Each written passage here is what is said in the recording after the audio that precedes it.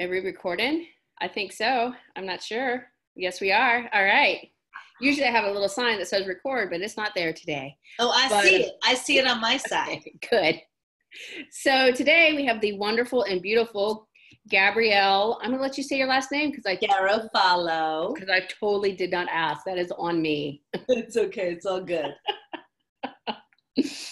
And Miss Gabrielle has one hell of a resume, and uh, she sent it to me, and I, uh, she is in through. She does all sorts of stuff. You even have like a blog, I do. like I, a read food and drink blog. I do called A Lady Walks Into a Bar. That's amazing. That's an amazing name. Thank you. Please follow me on Insta and Facebook. And we'll definitely put all of those details down below. All right. Um, so, would you like to introduce yourself and what you do?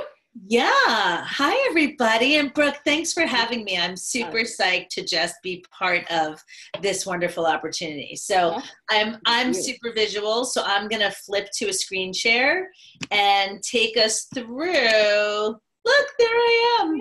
So that's me. And here's a small little exciting tidbit about that photo. I am illegally using it at the moment because I was just shot by the incredible photographer Allison Michael Orenstein, who I credit with that Oh. on. Re- she told me not to use it, so I'm sorry, Allison, but I confess I'm using it anyway. Because one thing to know about me is I'm a bit of a nonconformist. So anyway, Mm, super psyched to be here. Here's a tiny bit about me. You just um, shared a little bit that I have a food and drink blog called A Lady Walks Into a Bar, which was formed out of an entrepreneurial venture that I had several years ago when I owned a food and drink festival called a called Harvest on the Harbor in Portland. wow. My background is in advertising and branding and uh, media. I worked for Newsweek and House and Garden, and then I became an entrepreneur and started my marketing consultancy. And my, I think I think I originally called it my seventh, but I wasn't counting my early career in the food service business as a wait person and at a law firm I used to work for. But coaching is my 10th career. So now I'm also a life coach for women, mission to activate women globally uh, to find or channel their passions into purpose at home, in career, and in the mirror. So, um, and then I do these other things like I'm a mom and a wife and a daughter and a triathlete, sprinter. I do short versions of triathlons. Um, and I, you know, am a crazy passionate feminist, and this is where to find me. You're like the Renaissance woman. You're so well rounded. Oh, that, thanks. I love it. So nice. Yeah, and I think the key, you know, anyway, like this is not like an advice column, but I'm just going to do it anyway, is for anybody that this is for and for you and for women in particular, really, I think, you know, I'm not, people say, wow, your 10th career. And like, there's no shame in that because for me, it's been about trying to figure out my passion. So mm-hmm. follow your passion, people. That's all I got to say about that. There you go. You should never quit. There's never there's never a time when you should be like, I'm done for. Yeah. And Yes. like, let's move on to this shizzle, right? Yes, yes. So she built this wonderful graph for us uh, today, which I know is totally outside the norms of our normal interviews. So this ought to be nice. So I was thinking when Brooke said, Would you like to speak with me about one of these topics? And I was like, Yes, I would. And then I started to think about it. Um, and and it just and I kept going in a circle. Literally, like my brain was going like, well, hmm, which one was it going to be? Like, there's the perfectionist, right, right there. It was right there. Oh, well, I don't know. Well, if I do that one, then maybe there's that one. And I'm a Libra, so I'm always balancing and weighing hmm considerations but the thing that struck me as a mom as um as someone i ran uh the global branded content team for the wall street journal for three years as a bit of a hiccup in my entrepreneurship um, in 2012 to 2015 and during that time i ran a really big global team and i was really like stuck in both imposter syndrome like i can't believe they hired me to do this job. What were they thinking? And i better do it right and have it perfect otherwise they're going to figure out that i am actually a total imposter Yes. so but in that you know in that in the struggle bus of those two um, you're dealing with fear of failure which is why you're trying to be so perfect you're criticizing yourself because who's perfect that's absurd and you're ultimately keeping yourself from from success which you know I don't really have a fear of success. I didn't think until I kept realizing that I was failing at stuff, right? And then you have to get real with yourself about what is that about because yes, there is inherent failure in entrepreneurship, but I think that all of us have a little bit of a fear. I'm going to sort of equate fear of success with like living, living. I'll Oprah. I'll Oprahify it. Wait, there she is. There we are. There's Oprah. Oh wow! In my previous in my previous life, or the life I'm sort of moving out of in marketing consulting. But that was the year actually that inspired me as a life coach. Oh really? and then I ignored my instincts for seven more years, actually playing in these circles of entrepreneurship. And and so I really decided that they were all connected, and I think they play off of each other. And I'm going to mm-hmm. give just a couple of examples. I think. Yeah, uh, that'd be great. At first, I want to talk just like about being a woman and a mom, because I think you know, I think we forget that in our roles and in our relationships this goes on. Yes. Right? Like this Definitely. is going on in our relationships. And i used to have a mom one of my best friends mom always used to say to me like i'm a singer but i want there was a time i wanted to be a professional singer and she'd be like, Girl, you fake it till you make it. You act like Mariah Carey. You own the stage. Like, you know, she would really be like, You embody that persona. And I was like, There's no way I'm ever gonna, you know, I mean, the, I was so caught up in yeah. my inner critic and imposter syndrome and massive fear of failure, but also worse, fear of success. Like, what if I really had my dream come true? Mm-hmm. And that was such a mess of a tack to take, both as, you know, I gave up singing as a result of, of, of not figuring that out. And also like outside influences telling me like, you can't really do that. You need a real mm-hmm. career. Parents, right? parents. Free, like who there are no redheads that are fa- like you should dye your hair brown or blonde. Like there was just a lot going on around that, and I mm-hmm. didn't have that centerpiece called thought work mastered. I mean, mm-hmm. mastered, that's sort of a joke, but um, I didn't it? have an awareness even that there was thought work involved yeah. to know to talk myself out of all of the, the mind crack that goes mm-hmm. on up there. So I would say as a young person and as trying to find my career, we can get really screwed up stuck in these in these concepts right separate or together right some people not experience it the way that i do which is mm-hmm that they're all connected and that they play off of each other and sometimes some are stronger than others depending on the venture right? Yep. or or the experience like motherhood? Yeah. You that's why you know the higher power god whatever your beliefs are has you baked that in there if you're you know if you're biologically able to do that for 10 months or there's such long processes with surrogates and adoption like mm-hmm. i think the world is structuring you to like get ready and then like you're handed this small human being and if you've never had imposter syndrome before that's when it really kicks in for you right yes. even biologic like a human yes. being came out of my body they gave me the human being and i was like you got the wrong dude.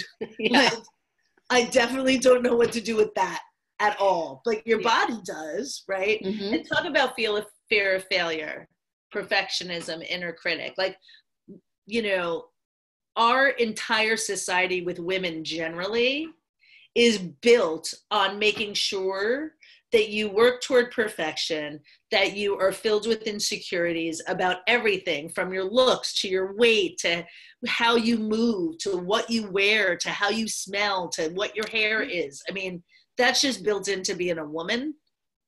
I did. I, you might recall the feminist part of the slide before, right? So that's all built in. But the thing that is in the center of all of this, and that's never been more powerful for me, is the thought work because every time oh and the other thing in common about one two three four all five of these is that they are stoppers right like they're like mm-hmm. wedges in progress they are halts in innovation yeah. they are they are actually built into so i mean i'm obsessed with brene brown and her latest you know netflix Call to Courage special really talks about how corporate culture sometimes is sort of built on all of these things, yep. not quite this exact structure, but you know, a lot of fear of failure and a lot of like, you know, do it this way and oppression. Oh and God, yes. I used to be like that. I hate to say, as like a global senior person at the Wall Street Journal, like I was such a micromanager because I was so afraid of something going wrong. I mean, Mm-hmm. eventually I learned and I empowered my people and I sent people around the world to go do their jobs. Um, but, you know, it was a really painful process for them and for me trying to uphold some ridiculous idea of how it's supposed to be hmm you know and i think america you know american society and our culture especially today where everything is so public and on social media and like everybody looks at gary vaynerchuk or tony robbins or i mean you know i don't know um, um, aaron judge of the yankees or j lo and a rod whom i'm obsessed with by the way. Um, you know like i love them but like you look at these people and you're not so much understanding the process by which this affects everybody. The difference between them and everybody else is they have mastered the thoughts. Mm-hmm. Yes. And mastering it is not like they disappear because they don't. I mean, I had it all day. I mean, I changed this chart like five times, obviously dealing with some, you know, something in there, yes.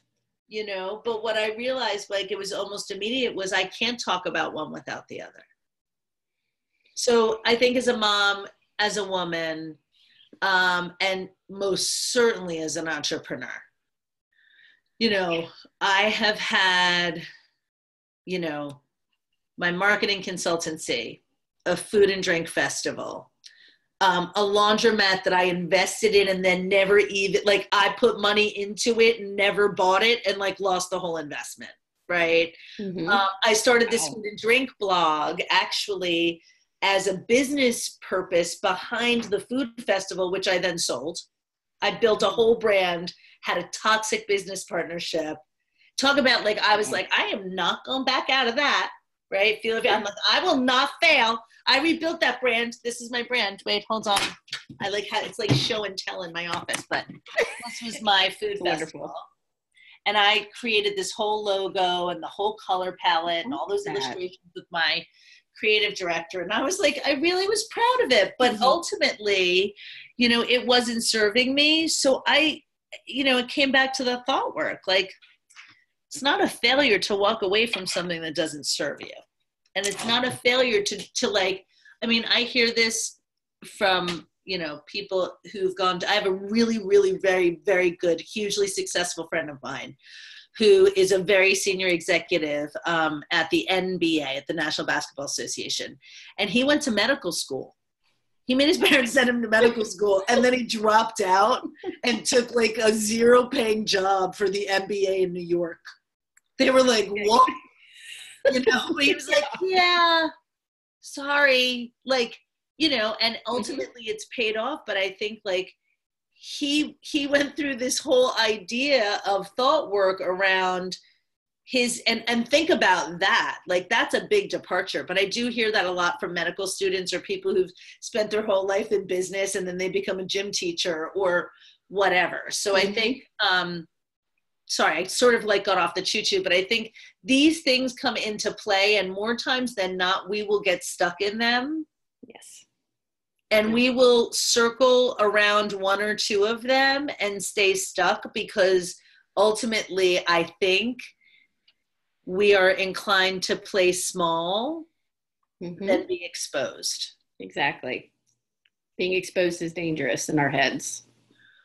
well yeah and i think like society has made it sort of scary you know Mhm. like i mean i used to really care what people think i underline the word used to with like bold sharpie Yeah. used to Many colors, yeah. Yeah, I mean, but you know, I'm 51 years old, and it took me until a very short time ago, and I still get caught up a little bit in like not wanting to be judged for my kids, or not wanting to be judged for my husband, or whatever, or you know, not wanting to disappoint my parents, like hmm you know, all of these things. But again, all by the way, all of that relational stuff fits right into this chart. Oh yeah. Oh yeah. so i think like again that's the thing about relationships, right? Like one of a couple of my favorite people are always like, well, first of all, when you pointing over at you, where's that thumb pointing back? Yeah. Right. um, and the other thing is like you can't change anybody else. Correct. Right. And all of this perfectionism, inner critic, fear of success, imposter syndrome, fear of failure is really outside influence in when you think about it. Mm-hmm. I mean, are we really born and we start questioning our own amazingness? No, because we learn how to crawl and roll over and do things inherently as human beings without anybody, right? Like someone could literally look at us and say, you can't roll over, and we're eventually going to figure that out because yeah. biomechanically we're meant to move that way, right? Mm-hmm. So I think that all of these are learned things. Yes. And the thought work is the unlearning of them exactly. or the acknowledging when they show up mm-hmm. and deciding who's going to be more powerful, right? The move, mm-hmm. the forward movement or the same old story. Yeah, I usually call that who's driving the bus.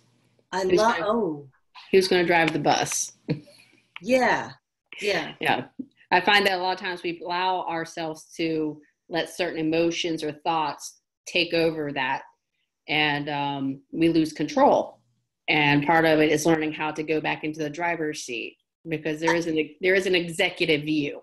Absolutely. Who, who stands outside all of these. Yeah, I'm stopping the share for a second okay. I just wanted to come back to screen. But the one other thing I wanted to talk about mm. before I can see, like, I'm watching the time, so I want to wrap it up. But the fear word, fear, I don't know if you've heard this before, but I'm a fan of the acronym false evidence appearing real. Real. Yeah. Yes.